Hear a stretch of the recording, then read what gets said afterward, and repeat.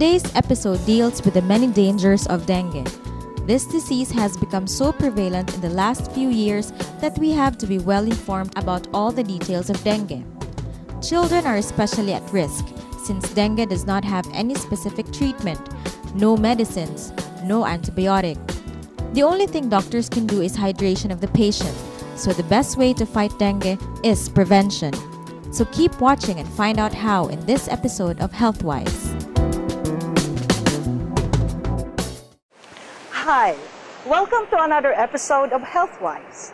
For today, we have as guest a pediatric hematologist and oncologist, Dr. Cynthia Milicor. Hi, Dr. Milicor. I understand you want to be called Chang. Yeah. If I can, I may call you Chang, I may call you Dr. Milicor, okay? Okay.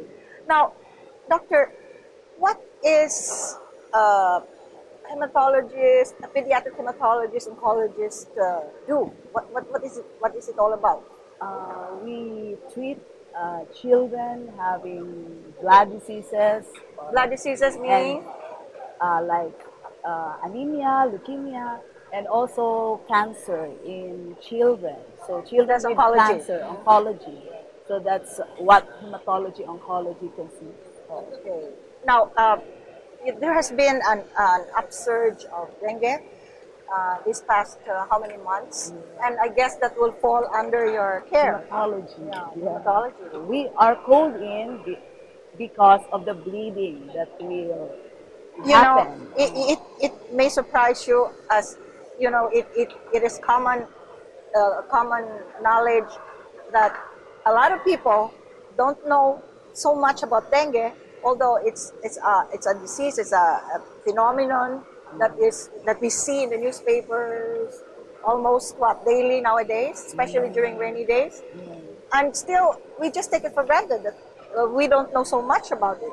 Uh, can you please uh, enlighten us about dengue? Okay, actually, a long time uh, before, how many years ago, it usually happens only during rainy Uh-huh, days. uh-huh. But right now, we have dengue year, all year round, even if it's not the rainy season.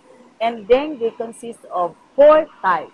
Uh-huh. So it doesn't mean that when you have dengue the first time that you are already immune to dengue because there are still three other types that you might be infected with. Uh, so Meaning the immunity might be for one type. just for the one type that you were infected Okay, with. But if you get infected with the other serotypes, instead of the antibodies of the other type, instead of helping with this new infection, Uh-huh. it will aggravate the Oh. infection of the other types. So when you have second or 3rd Uh-huh. episodes of dengue, the You're more vulnerable. yes to Ah. bleeding and more severe types. So that's the complete opposite of Yeah. uh, immunity, you know, the, the, the concept of immunity. That's right. Okay. Because the different serotypes, we have different uh, types of the virus, no? So it will not And, and, identify. and what are what are these? Uh, Actually, we just call them uh, serotype 1, 2, and 3, and 4. But of these four, they say the serotype number 2 is the most severe type, the virulent. so, um, what are the manifestations? I mean, you know, we, we say you are supposed to be bitten by a daytime Day biting Ah, mosquito. okay, like and they and and uh, they say also it's not really day; it's towards afternoon or something. Actually, these mosquito they are active during nine from 9 a.m. until 3 p.m. Okay. And at 4 o'clock, they will start to look for a place where they can rest, usually stagnant water, where they will lay their eggs. So it's in the evening time they will lay their eggs Towards and where four. they will rest. Towards yes, four o'clock. yes. That's why we have this what we call the three o'clock habit. Na Mm-hmm. you go around your household and try to look for any standing water or any container having Uh-huh. water. You throw those Uh-huh. water because it's the time for this mosquito to to breathe. breathe. I see. Okay. So so uh, for all types of, of of dengue, the manifestations are the same.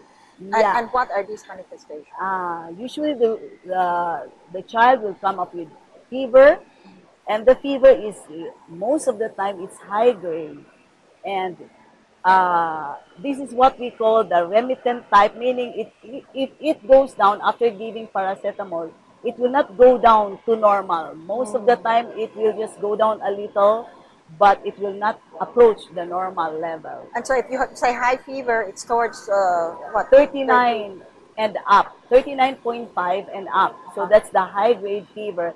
And they will complain of headache, hmm. pain at the back of the eyes, and then joint pains and really body malaise.